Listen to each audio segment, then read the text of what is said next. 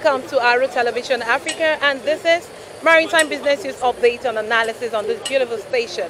Trust me, on this program, we'll take you around the world of maritime, keeping you abreast of events and happening in the maritime sector. I am Jessica Adams, and today we are at Kirikiri Lighter Terminal, where we have uh, so many trucks parked on the road. What is the main reason for these trucks? Is it because of the drivers or because there's no holding bay? Because it's obvious the transporters are yearning for holding bay. All this put together will be dishing out to you. Stay tuned. We'll be right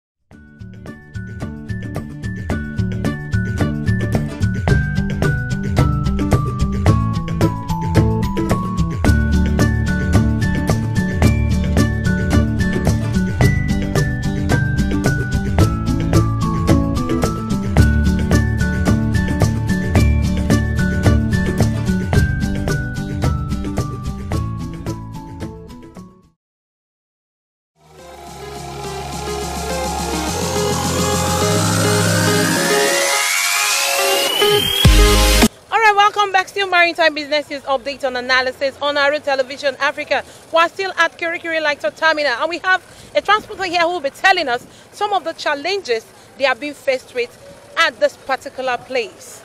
Hello, sir. Morning. What's your name, please? My name is Emeka Omega. Okay, Mr. Emeka Omega. Can you tell us what's happening here? Why there's so much truck everywhere? Yeah, the traffic is too much and the congestion of inside is too much. There's nowhere to drop it empty. Okay. Some people who carry it empty over two weeks, they will not drop it. Okay. And they can see that the road is very, very too tight. Okay. They park double parking everywhere. Even the police people that are controlling here are maltreating everybody bad. So nobody's happy with them. This, this truck has been here for since last week. And they, are- they are not yet dropped the container. Okay, so what would you tell us now? What is the main problem? Why are they parked here? The main problem is the inside is full. There's no badge to take the container to second gate. Because if there's a badge that will be taking them to second gate, they can be able to drop it so that they will load another work. That's why they are here. Okay, what do you think is the solution now? Uh, the solution that government will put eye into it or the SDV, what they call the SDV five star, people that have the, the terminal here, Okay. they will put eye into it and they will still tell police to assist us because police are doing, they are maltreating the drivers bad. Okay. Eh, In what way? Can you tell us in what way? That's the what we they are used to park for 1,000 naira here. The new twister that is here, calling DTO, is taking 13,000 naira for their hand, making things to be difficult. And to go inside now, the man is turning everybody all the time.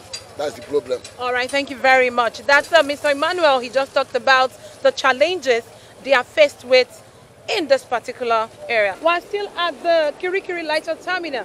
As you can see all over after a heavy rain, down uh, rainfall, you see everywhere messed up. Trucks are being parked everywhere. And right now we are with the transporters. They are complaining that there's no holding bay. As a matter of fact, some of the drivers are even sleeping. We're going to take a walk to their secretariats where we're going to be meeting them and how they're going to tell us some of the major challenges they are facing right here at the Kirikiri Lighter Terminal. As you can see now, the driver here is lying down simply because there's no job. Because they feel there's no holding bay. The containers are packed everywhere. They don't have a place to discharge them. So how do they pick up a new one? You can see him here. He's just lying down, jobless. And those people are people who have family all over. They have children they cater for. They have children they're paying school fees and all that. So right now, as you can see, all these men here, they are transporters. Okay, I think we'll need to talk to one of them. All right, sir.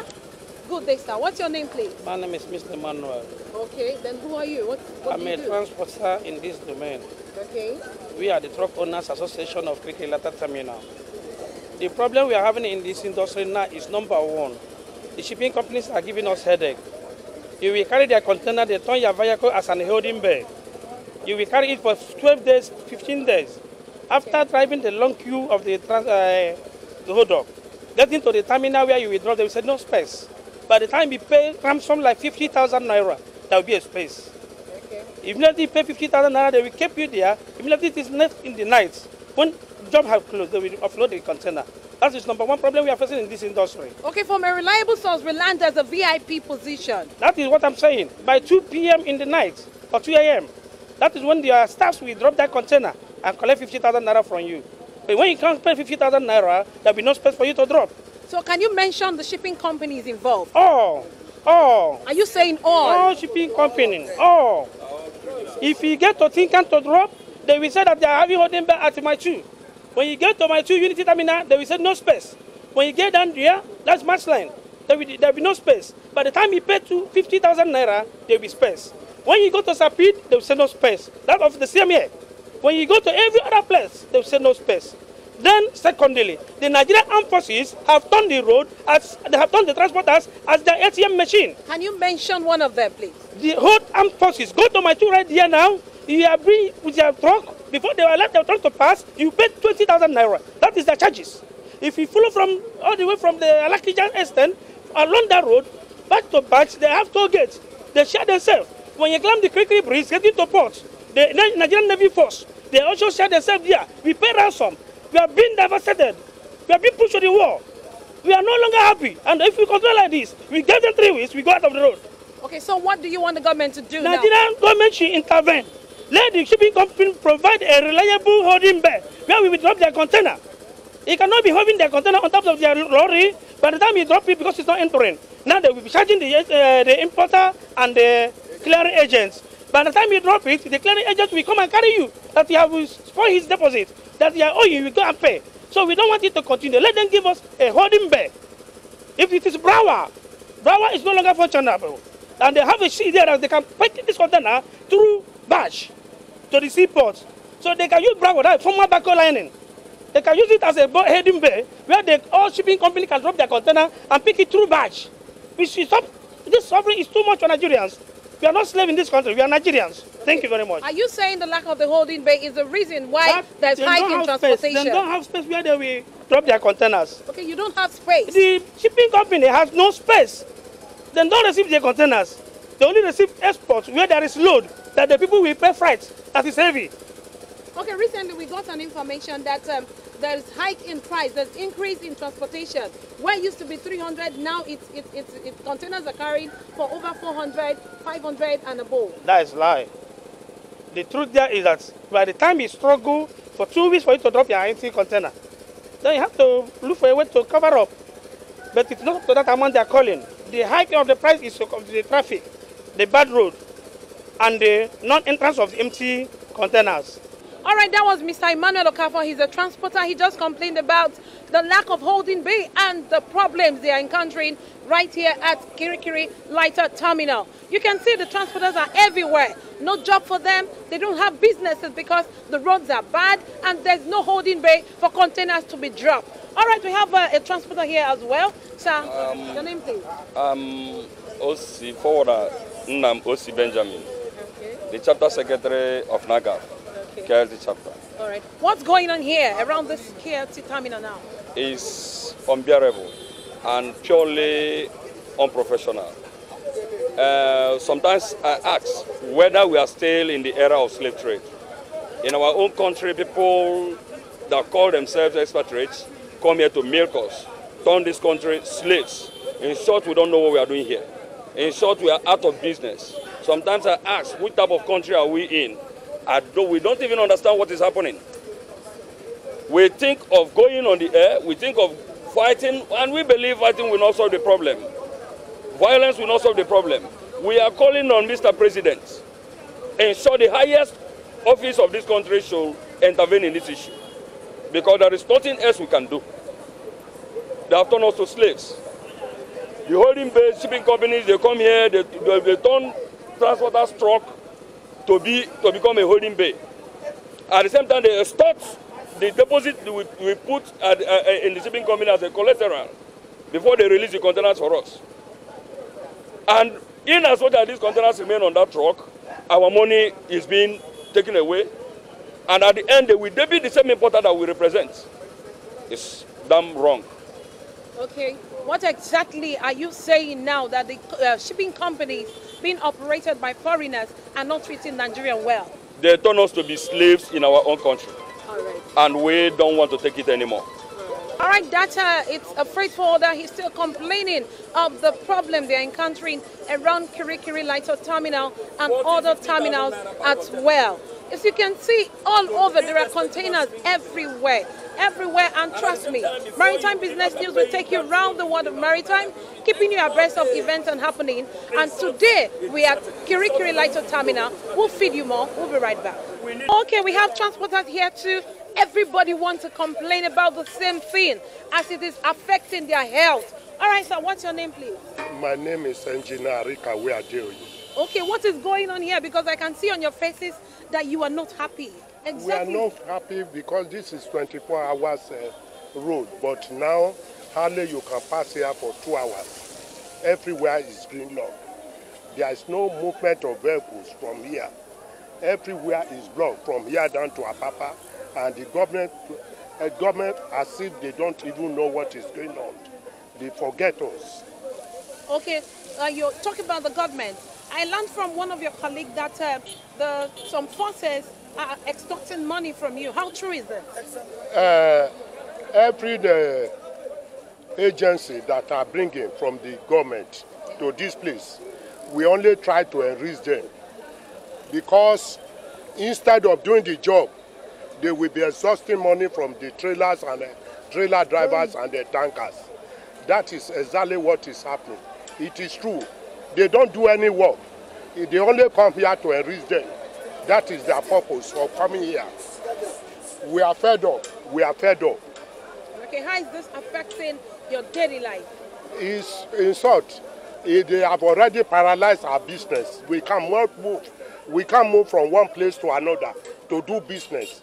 They paralyze everywhere, everywhere, every sector of the economy. They have already paralyzed it because there's no movement for vehicle, for Okada, and then uh, for pedestrian. We cannot move from one place to another. We are fed up. All right, thank you very much. Thanks, Sir, what's your name, please? Yeah, my name is uh, Osondo Ezeji. Okay, what's going on around this accident? Uh, in fact, what is going on here, we are not happy. We are not happy with, of what is going on here. It's very, very unfortunate, and we are happy that you people are here today. You know, for it to tell you what is going on here. In fact, many enforcement agencies are collecting money from the transporters along this Mile 2 expressway. If, if you want to cross from Mile 2 bridge here, you have to pay at least 20 um, 20,000 naira or 15,000 naira to cross a flat body of a, a, a truck. Okay, who are you paying this money to? Can you tell us? These who? are navies and the law enforcement agencies like armies and navy and police uh, police agencies. So how much, can you tell us how much is the maximum and how much is the minimum? The maximum is about 15,000 naira. While minimum, minimum um, the maximum is about 25,000 naira. While the minimum is about 15,000 naira. Whenever you cross, they will extort money from the transporters. All right, thank you very much. Thank you. Okay, that was a, a transporter who just complained of the Nigerian uh, Air Force, the Navy, the Army extorting money from them. All right, and these transporters are just, they, they, they, they, just said that the business are crumbling. There's no business, and when they get to the Mile 2 axis, the Navy has extort money from them from between the, the range of 15 to 20,000 naira. All this are one of the major uh, causes of the problems that are bringing down our sector. We shouldn't forget that 75% of our economy in this country is generated from the maritime sector. And I think this sector should be looked into by the federal government as it is one of the major sectors financing the budget of the country. Keep watching our TV. We'll be right back. Our TV, the roots of Africa, African culture.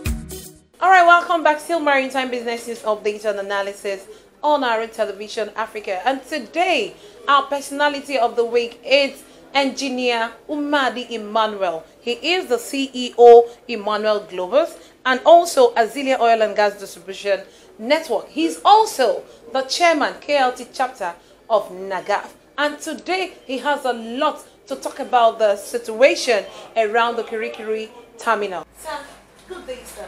Good day.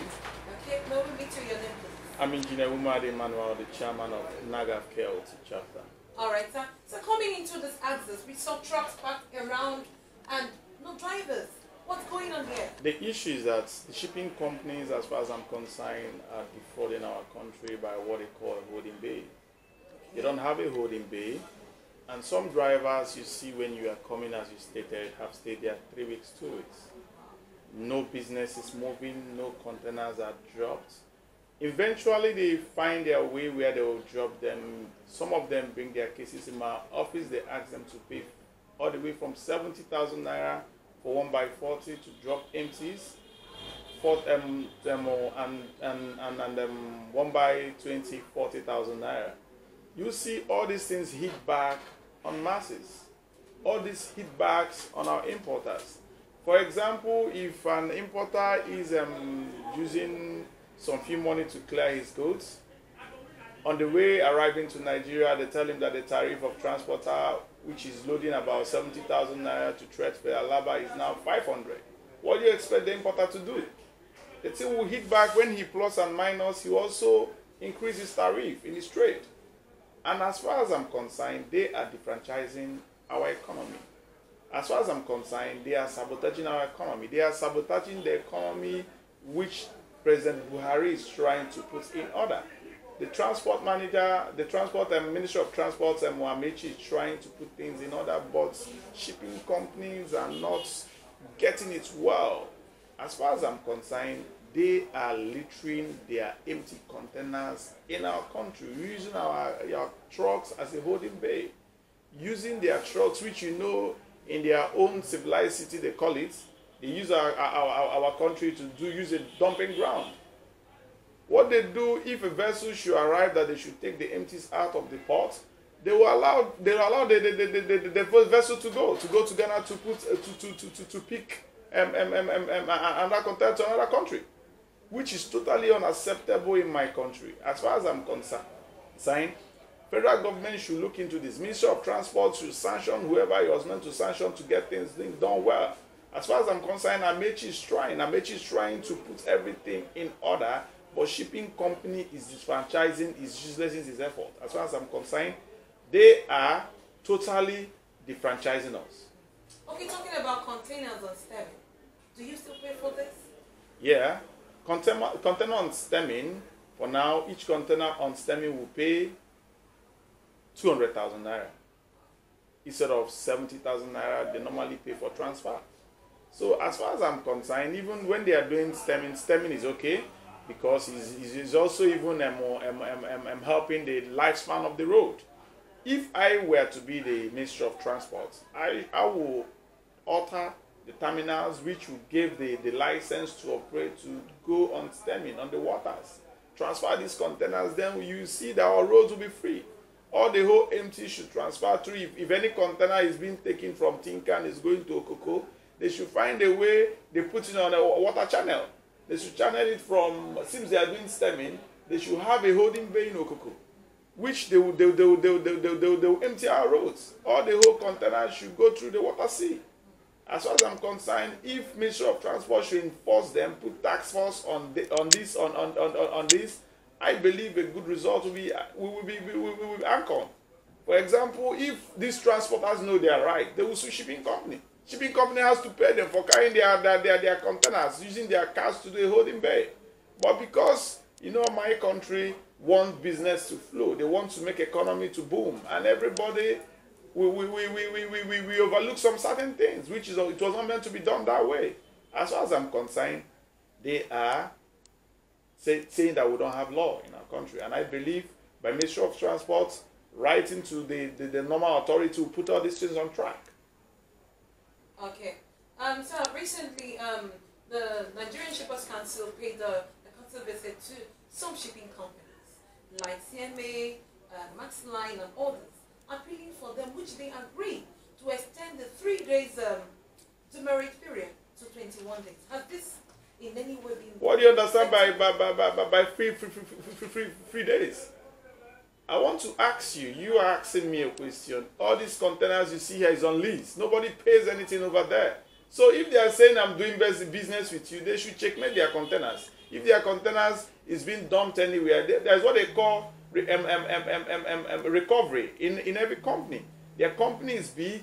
As far as I'm concerned, if they want to do business, they should clear anything concerning demurrage. We are not meant to pay demurrage in any consignment because we are doing business. We are generating internal revenue. We move cargo. Okay, all right. Um, also, NPA, the Nigerian Port Authority, uh, made some move to resolve the problem of holding holding bay by sanctioning some shipping companies. Have they? Then they have not improved. The They same. believe, they believe if you take their license, we importers, I, I import, and we freight forwarders, whenever they re- record the, the, the, the strike or whatever they record, the sanction they give them, that will pay tomorrow. So they, they, they, they, they, they, they go back to extort us. What I call it is defrauding. What? If they say they give you three days, what's two, three days for? That three days, if container, they tell you that the container arrived Nigeria today is 18th. If the you container have arrived Nigeria 18 before they are done with their, their, their discharge from the port, I believe that two days is gone. So the three days is nothing.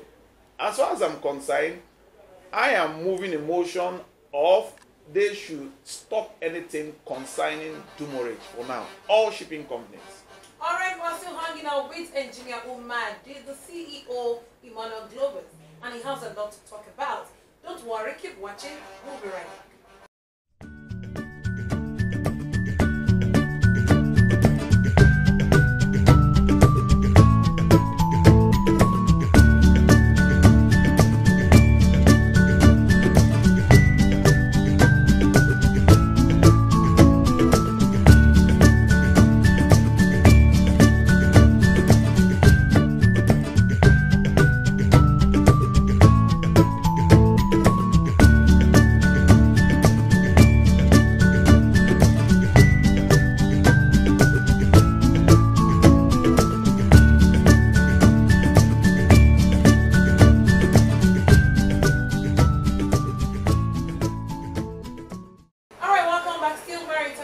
artists on Analysis on our television. And we've been hanging out with engineer Umadi. He's been telling us lots of problems, problems which uh, have been facing freight forwarders. All right, uh, um, now from what we gathered out there, right? And uh, we learned uh, that there are some of this uh, government, um, the forces, let me use the word, I'm forces, that are extracting money from the transporters. Are you aware of that? 100% right. I've told you the last time we had this interview that shipping companies operate with terminal operators to defraud our freight forwarders, transporters. Why I, when I told you that, I told you go out there, get your informations and come back to me. Thank God you're here today. As far as I'm concerned, what terminal operators do, and they have a link to shipping companies. When shipping companies, when terminal operator asks you to bring money, and you tell them you don't have money to drop drop empties. Like yesterday, I had an example. One transporter ran ran into my office, said, "Sir, he wants to drop container, and they asked him to bring seventy thousand naira." I said, "Who asked you to bring money? I want to witness this myself." He said, "They're over there." I said, "How much have you paid?" He said, 120. I said, "You paid 120 for what?" Said to drop is empty. That he has queued for five days, even after paying the money. I said, "Where is the receipt? I need to see the evidence." He said, "Oga, there is no evidence, but I'll point the person." I made an arrest to find out what they are saying is the truth. To bring in the police to do investigation, and the police intervened and find out what I was saying is the truth. I called the terminal operator. Look at what is going under your nose. They are collecting money, drop, dropping empty containers. It's highly defrauding and highly sabotaging our economy. Because when you ask an importer to to to, to or, or ask agent to or ask them freight forwarders to pay money to drop is empty, he will put the bills back on the importer. If, as I stated earlier on, if you are meant to go to trade for 70,000 naira and you have plus and minus that you are going to drop the empty with 70,000 naira and plus how many days you are going to be there. You tell the person from here, from Kirikiri Lighter Terminal to Trade Fair is 600,000. When you plus and minus, you're going home with 100,000 after all the whole days. So I'm telling you that shipping company is a partner of wherever they drop their containers. For example, if you ask them, okay, I don't have this money, they will tell you to go to TICT. That let us see your deal, and your deal might be bearing Tin Can. They will ask you to go to Tin Can, but when you give them the money, they drop the empty. So how are they dropping the empty? First of all, they, there must be an insider who will send a signal to them through email to receive the empty. It's highly unprofessional. It's highly defrauding. EFCC and uh, security agencies should move into this to get it done well. Okay, now let's take a look at the Nigerian Customs Service. Uh, we now have NICIS 2. You know, we moved from NICIS 1, now we are uh, in NICIS 2. Now, talking about the ease of doing business, what are some of the challenges you are encountering in terms of doing business in the port, as in having the customs this time around?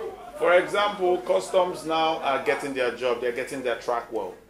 Customs are cooperating. Customs are are doing the right thing they're meant to do to raise internal revenue. As far as KLT lighter terminal is custom, I I, I, I, I give them 80%. That's an A for now. Okay, that's beautiful. And also, um, we had an interaction with uh, one of your member, and he said that along the Mile 2 axis, just up the breeze there, that the navies, the Nigerian Navy, the Nigerian Navy men, right there, they're extracting money from there. Are you aware of this?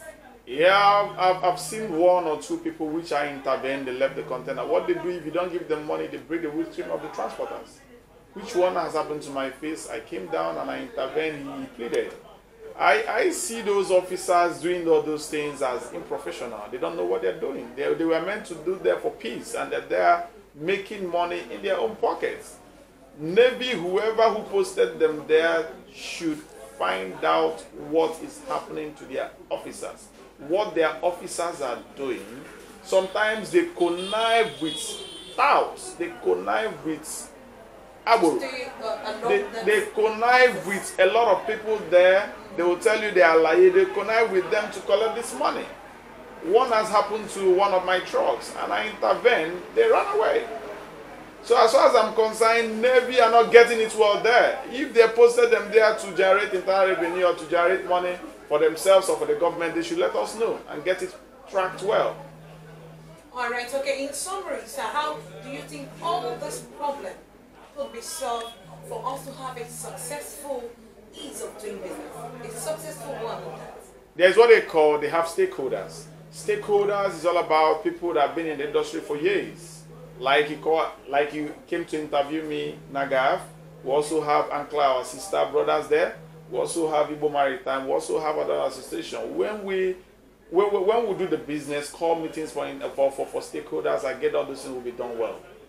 All right. Uh, your final word for um, the transporters, because I think they're really hot now because they don't have businesses around.